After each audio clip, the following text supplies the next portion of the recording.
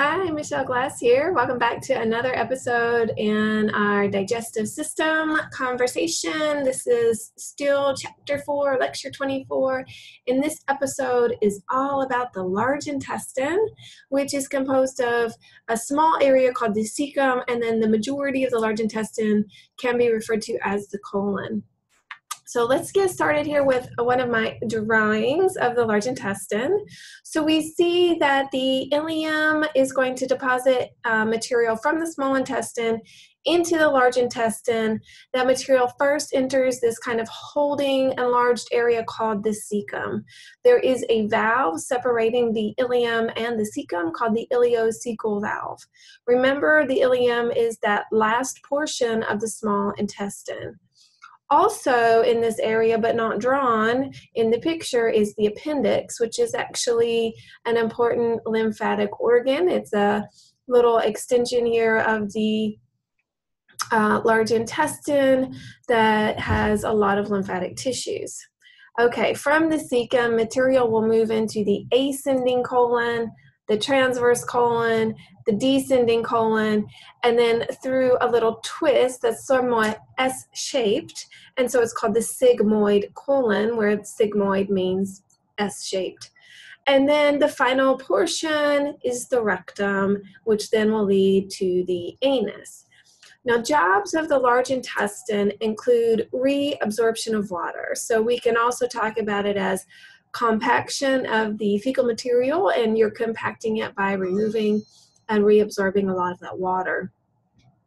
There is some digestion that's happening here, 10% of your total digestion, um, but that's only happening because in with the chyme that was secreted into the cecum, you have those enzymes from the small intestine, so they can continue working, and then you have this microbiome, which we're going to talk about more here, it's basically what you can call also your gut flora. It's bacteria and fungus and viruses that are living in and a functional part of your large intestine that are doing the work of digestion. So the large intestine itself is not making or secreting any enzymes to assist with digestion. The microbiome is also responsible for producing some key vitamins that can then be absorbed here. So, really, you have just a small amount of nutrient and vitamin um, absorption happening at the large intestine. Um, a significant amount of water reabsorption happening at the small at the large intestine, excuse me, and then we are seeing some removal of organic waste products happening um, with this organ as well. Okay, so our microbiome um, are the organisms that are living in the large intestine. And a lot of times um, when we haven't studied uh, science and bacteria, we think of them as bad and disease causing organisms, but that is not true here. So it is an important part of your body to have this group of bacteria and viruses and fungi. Uh, taking up residence in your large intestine and they're actually helping you to get some key nutrients and vitamins from your food. So there are actually three vitamins that are being produced with the help of your microbiome. The first we can mention is vitamin K. Vitamin K is required by the liver to make clotting factors, including prothrombin, which is one we talked about specifically when we were looking at the um, uh, what's it called? The classic pathway. Um, that's not the right word, but we have the intrinsic and the extrinsic, and then the common pathway is the name I was looking for. Biotin is another important vitamin that's being produced by your microbiome. Um, this is going to be required for several reactions that our cells do, including glucose metabolism, so it's going to be key. And then the third is a vitamin B3, which is required to make important steroids. Steroids include cholesterol and estrogen and androgens like testosterone, and also some important neurotransmitters. So, obviously, the microbiome is important here in helping to produce some of these vitamins um, for our body. We also will see that the microbiome can help with that removal of organic waste, and we've actually talked about this a little bit. We mentioned bilirubin when we were talking about the uh, recycling and um, removal of old red blood cells. The bilirubin is going to be converted by microbiome into those urobilins and stercobilins, most of which are going to be removed by the body uh, with the fecal material. Also, the breakdown of peptides produces several waste products, including ammonia, indole, and skatole. Those are producing a lot of the odor that's associated with feces. Hydrogen sulfide gas um, is produced as a result of breaking down proteins. That's that rotten egg smell. Um, and then ammonia, as mentioned, is toxic to the body. Some of this is, you know, a lot of this is just going to be removed in the large intestine, but some can get reabsorbed back into the bloodstream where it's then removed by the liver. And then you also see indigestible polysaccharides that are providing nutrients for your microbiome, resulting in the production of flatus, um, which is gas. The last thing we need to talk about is what is called the defecation reflex. Now, the defecation reflex involves a specialized type of peristalsis, which is referred to as mass movements. Um, the signature feature here is that we're still doing that kind of like uh, wave where you're squeezing in order to push material um, or propel material through the digestive tract, but in this case, it's a more of a powerful sort of hold and squeeze to really get that material moving out.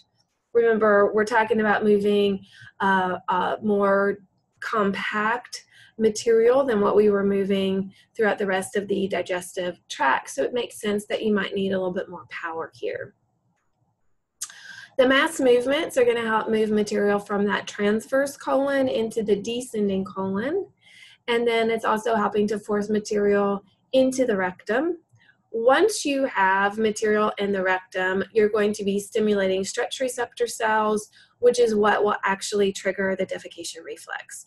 So defecation reflex is stimulated by material in the rectum stretching the stretch receptor cells of the rectum, um, causing a whole reflex mechanism.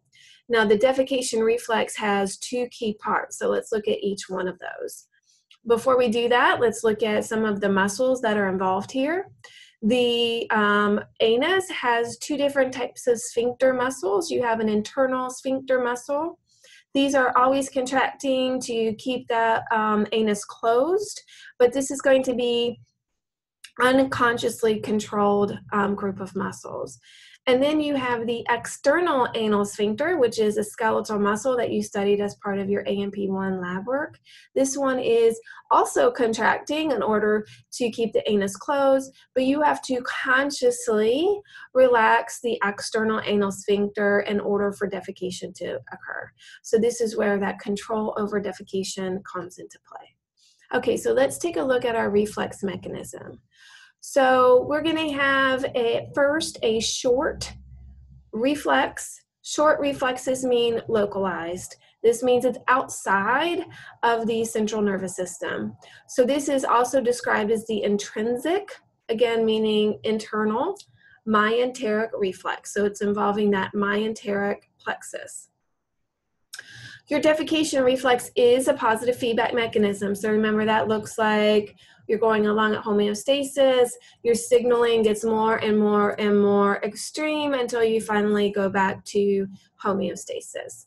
So in this case, we have fecal material moving down into the rectum. Once we reach the rectum, remember, we're going to stimulate stretch receptors. So this is, of course, part of our afferent uh, nervous system, which means our sensory receptors this stretch receptor um, neuron, or the stretch receptors are stimulated, the afferent neuron is stimulated. That then is going to stimulate an efferent motor neuron, which is going to stimulate peristalsis. So you're going to have peristalsis at the sigmoid colon and also at the rectum, really helping to get more material into the rectum. So getting fecal material into the rectum triggers more peristalsis, which causes more movement of feces into the rectum, which further stimulates the stretch receptors, which causes more um, material moving, you know, more peristalsis, so more material moving into the rectum, and so on and so forth. So here's our positive reflex mechanism. Well, all of this is localized. It's happening right there in the large intestine. This is not something that you are consciously aware of. So at the same time, we need to have the long, um, the long reflex. The long reflex means now we're taking that information to the central nervous system. So ultimately, this is going to become part of our conscious awareness.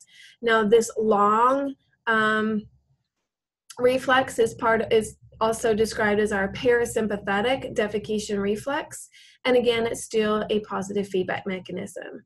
So that afferent neuron that was responsible for the short or localized uh, reflex is also simultaneously taking information to the central nervous system.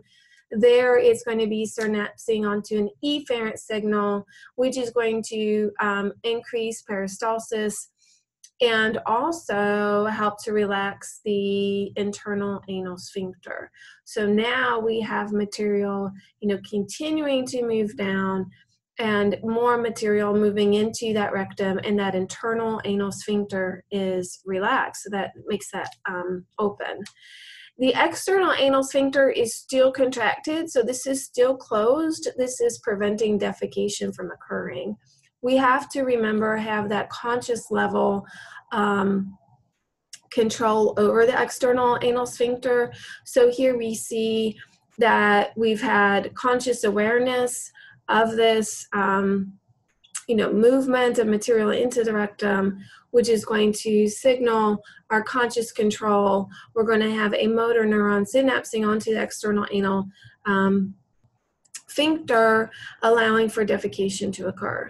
Now you can consciously override that, right? So you can prevent the external anal sphincter from relaxing and that's going to put a stop to the signal allowing fecal material to move back up into the large intestine um, outside you know move it out of the rectum and back up into the sigmoid um, colon and so forth okay that's it for now